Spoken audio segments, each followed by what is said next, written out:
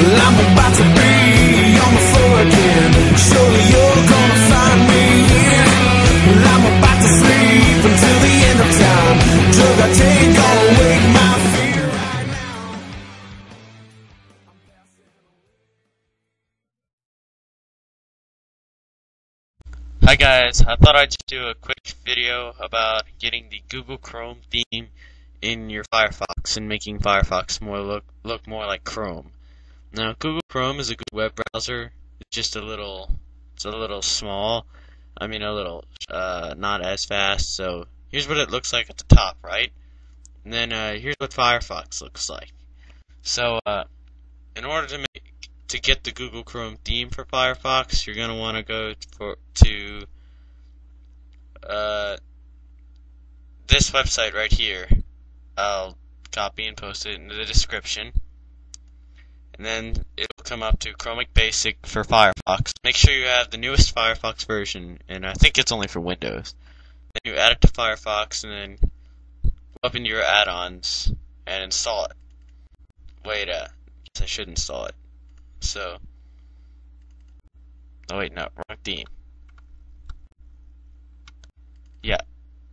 Then restart Firefox.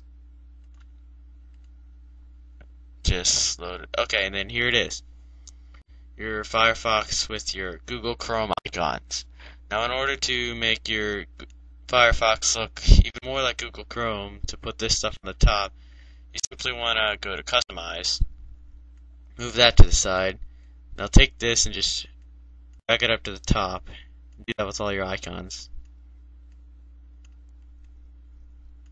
And then do that with the bar. And then bingo. Then get rid of the navigation toolbar and click done.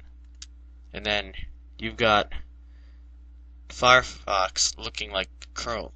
Now, personally, I don't like this theme. I just found it searching for themes. So, I actually got the XP theme for Vista Firefox because you know I felt like having it green. So and, and then it looked like this.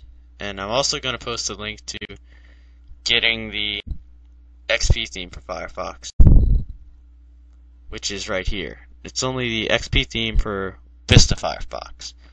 So thanks for watching this short video, and uh, hope you enjoy it.